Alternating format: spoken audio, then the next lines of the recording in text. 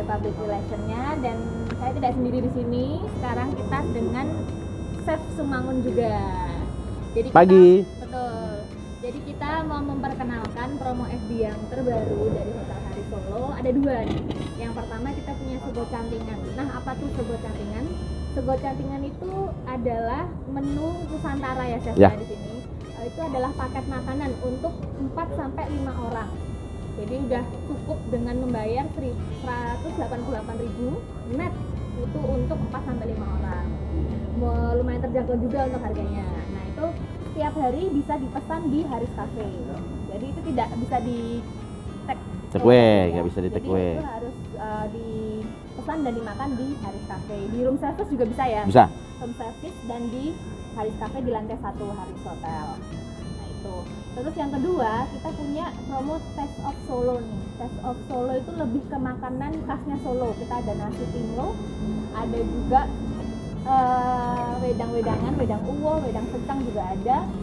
Ada juga eh, ini nasi Liwet, nasi liwet. Nasi liwet Solo. Nah itu kita available-nya itu setiap weekend, setiap weekend dan juga public holiday. Nah tempatnya beda, nggak di resto. Jadi tempatnya ada di lobby. Di lobby. lantai lobby sebelah reception. Nah itu bisa dinikmati oleh uh, pengunjung atau tamu yang menginap di hotel kita. Jadi itu tidak bisa di take away juga. Jadi itu bisa dimakan di lobby atau bisa di uh, room service ke dalam kamar. Gitu. Sambil menunggu check inan kan biasanya kalau weekend kan uh, lumayan padat ya tamu-tamunya. Dan menunggu itu sambil bisa menikmati promo kita. Harganya dari mulai 18.000 net per porsi. Nah, untuk lebih jelasnya tentang apa nih detailnya dari sebuah Ya. cantingan bisa dengan Jadi sego cantingan maksudnya itu terinspirasi dari eh, ngetik cantingan cantingan yang biasa buat menanak nasi. Nah, biasanya kalau di Jawa Barat itu kan diisi sama nasi Sunda itu. Nasi liwet Sunda, di situ ada ikan asin, ada pete, ya tuh nasinya nasi lemak. Nasi lemak tuh ya nasi yang dimasak sama santan. Nah, nanti teman-teman untuk apa lauknya eh, ada ikan asin peda, terus ayam panggang bekaka, oseng-oseng cumi, terus ada tahu tempe bacem, urap sayur, lalapan, pete, sambal korek dan kerupuk. Jadi cukup komplit. Eh, inspirasinya adalah karena kita lihat banyak family yang ke sini. Jadi kalau Keluarga. ya ada suami, Segmennya istri, lebih besar. ada anak dua, jadi kita bisa offering untuk eh, sego cantingan. Eh, kemarin sudah lumayan respon pasar. Ya ibu-ibu arisan itu yang pasti yang yang banyak pesan. yang banyak yang pesen ibu-ibu arisan karena ya seleranya emang selera untuk eh, masyarakat luas gitu. Terus nasi cumi, ya konsepnya sama. Jadi nasinya kita olah dengan tinta cumi. Jadi Nasinya warna hitam. warna hitam nasinya. Nah, jadi makanya kita sebut ataupun saya sebut nasi cumi. Ya, pasti nanti ada eh, cumi yang dimasak hedeng, cumi hideng. Cumi hideng tuh ya cumi hitam, cumi masak hitam. Terus ada telur asin, ada pepes tahu, bakwan udang, bakwan udang. Terus tahu tempe bacem, rempeye, eh, urap sayur, petai, sambal korek dan serundeng. Nah, harga kita hanya 188.000 untuk 4 sampai 5 orang. Berarti satu orang cuman spend money apa spend uang itu hanya sekitaran 40 ribu lebih. Sudah cukup bisa makan di hotel gitu. Di hotel bintang 4. Lumayan Nah, terjangkau harganya. terus untuk eh, Taste of Solo itu kita menyasar eh, pasar di weekend. Weekend sama family. Kadang eh, wisatawan yang ke sini itu kan dari luar luar kota. Ya pastinya di waktu weekend.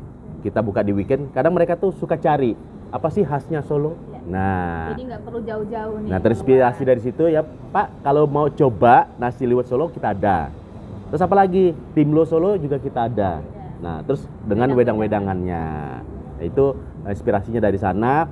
Jadi nggak perlu nunggu malam untuk makan nasi liwet Sambil ke nunggu eh, kamar. sa- Sambil sambil nunggu kamar kamar sudah bisa makan nasi liwet. Iya. Mau cobain dulu. Nah, nanti baru silakan kalau mal- tamunya malam mau jalan-jalan ya monggo tinggal cari makanan yang lain Dan gitu. dari segi presentasinya juga pasti beda ya. Ya presentasinya kita sesuaikan eh, ya style hotel Iya. gitu. Ya dari saya mungkin cukup. Sudah berjalan berapa hari itu?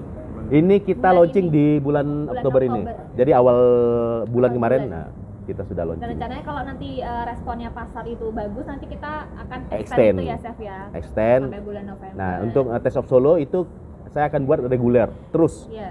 Jadi nanti berganti-ganti. Mungkin di bulan ini eh, isinya adalah timblo sama nasi liwet, besoknya bisa cabu ramba kayak begitu-gitu. Jadi bisa kita ganti-ganti lah. Jadi tamu pun yang ke sini, ah, eh, wah ini Menu-menu. khas Solo, nanti gudeg Solo kayak begitu-gitu. Cuma kita memang tidak eh, tidak menyediakan banyak karena kan di lobby jadi pilihannya hanya dua itu Ya, dulu. Nah, betul. makanya tadi kita di rolling itu nanti beda bisa beda-beda ya, saya Ya. campur rambak sama yang lainnya juga. Yang membuat istimewa nasi canting ini apa? Yang membuat tertarik. Yang pas yang pasti eh, presentasinya ya. Iya. Presentasinya Warna-warni. cukup menarik Iya. karena ya disesuaikan di hotel. Jadi cuman tadi spend uang 40.000 sudah bisa menikmati makanan enak, makanan Nusantara di hotel bintang 4. Nah, gitu. Terus ya pasti si tamunya merasakan pengalaman yang beda. Ya tadinya cuman di emperan kaki lima ataupun di resto biasa, tapi ini menikmatinya di hotel. Dan juga bagus untuk diupdate kan sekarang ya. Iya. Zaman sekarang milenial semua di foto-foto itu oke sih ini untuk presentasinya. Dan kebanyakan juga kita promosinya lebih banyak ke sosial media. Jadi kita lewat Instagram selain daripada media offline. Oke. Oke. Dua satu plus. Mbak.